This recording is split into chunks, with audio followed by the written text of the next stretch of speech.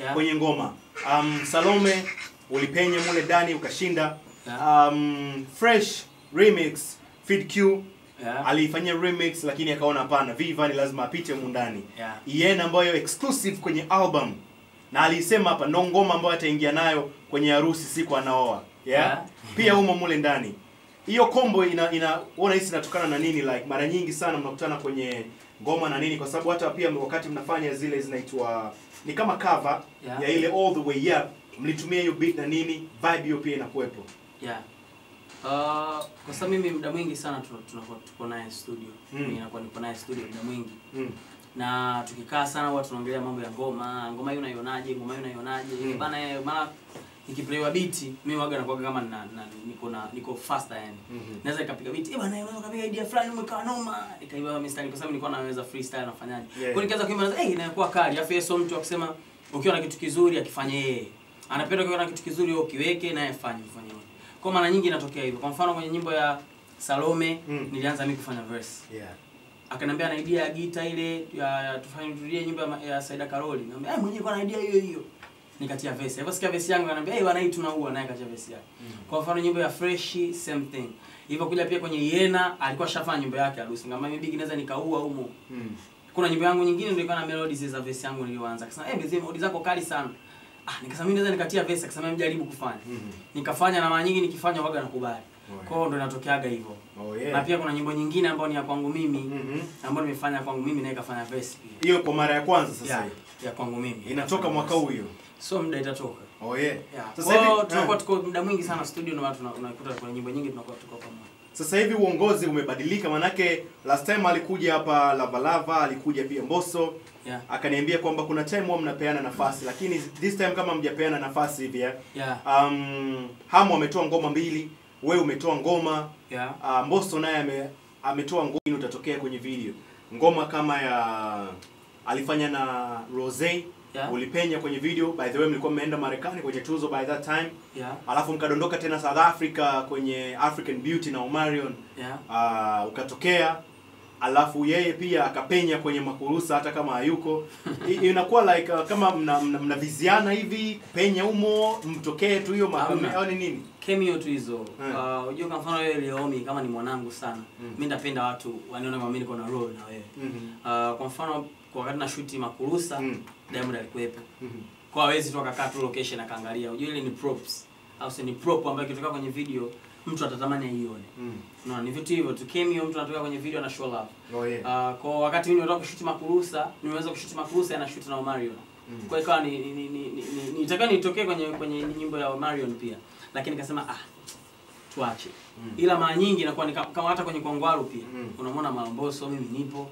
Kwenye Pochinene pia unamwona Malomboso yupo. So ni watu ambao tuko wote ni sana kusema labda alivyokuwepo Young Money au Cash Money video ya mtu fulani unashangaa mtu mwingine katokea tu hata kama ipo lakini ikifika right time watu wataona tu.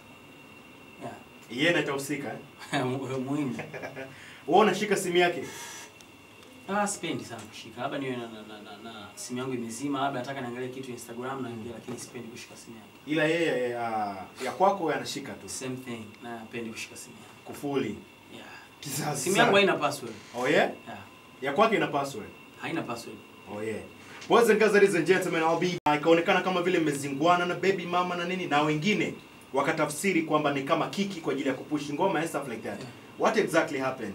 ah ujue sitaki sana sipendaki sana ku- ku- kuongelea hilo tukio kwa sababu Mm. wengi waliona kama ah katengeneza story Mm. lakini ukiangalia mimi maisha yangu na ambayo pia niseme maisha yangu personal Mm. siwezi kuyafanya yawe story ili mziki wangu uende kwa sababu at the end of the day sio vitu ambavyo vimenitambulisha mimi kwa watu mm -hmm.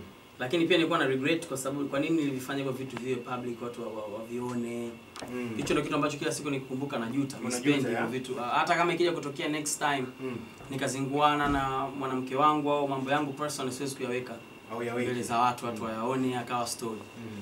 nikikumbuka hiyo situation inani ina ina ina ina, ina inaninyima raha kama na, na regret lakini ni kitu ambacho kilitokea Mm. and I don't want to talk about that. Oh yeah. Vitu vibaadaye vikakaa sawa, maisha sasa hivi inaendelea Yes. kizazi sana. Yeah. Na naona pia sasa hivi kama bata fulani hivi linaendelea. Mlikuwa kama kwenye arch fulani hivi upepo nini? Yeah. Eh, huko na CEO mwenyewe Diamond. Platnumz. Kwa sasa hivi kwa sasa hivi sitaki ku, ku, ku, ku, kwa iseme kwa complicate sana mm -hmm. kwa sababu kokote nitakapoenda itabidi niende mimi na mwanangu pia niende Mm. na yeye Eh, lazima familia iwe kwa lakini sasa hiyo inakuwa itakuwa complication nyingi kwa sababu mtoto ataanza kwanza ku experience vitu vingi ambavyo mimi sivitaki ave experience sasa hivi. Alafu pia mwenyewe anakuwa kwenye wakati mgumu. Unajua kwenye show sometimes Mm.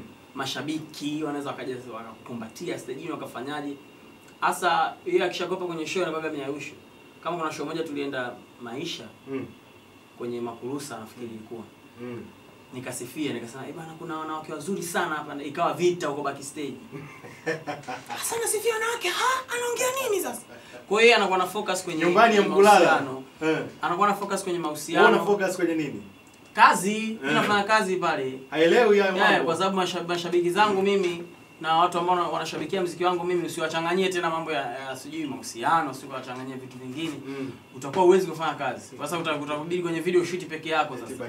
Natamani ningekuwa na mwanamke hapa location kwa sababu unajua ukiwa kuna mwanamke vita nyumbani. Mm. Kwa naona itakuwa ni ni, ni, ni, ni, ni complication nyingi. Sema mtoto akishakuwa kuwa kidogo kama ikitokea ata- ataenda naye. Kizazi. Pili kizunguzungu ya Lava Lava. Mm. Kwa nini kizunguzungu ni nyimbo tu ambayo vibe yake, type ya muziki alioimba, lakini pia Lava Lava amekuwa mtu wa kuimba nyimbo za mapenzi za muundo mwingine. Mm. Tofauti na nyimbo hii. Nyimbo hii kaimba kama ni type ya vitu ambavyo mimi huwa napenda kuviandika. mm -hmm. Kaimba vitu ambavyo vipo, vitu ambavyo mtu hata ambaye ah, sio shabiki yako, mtu ambaye hata asikilizi mziki wako akisikiliza anaweza kaza huyu kawaza nini? Mm. Zile emoji emoji hivi emoji vya makopa na vya kufumba macho, sio na namba zako bado. Yaani kaimba kitu fulani ambacho kipo tofauti. Na mimi napenda sana kusikiza muziki ambayo iko unique, iko tofauti. Oh, Kwa hiyo ni ngoma yangu ambayo naipenda sana kutoka kwa la Lava.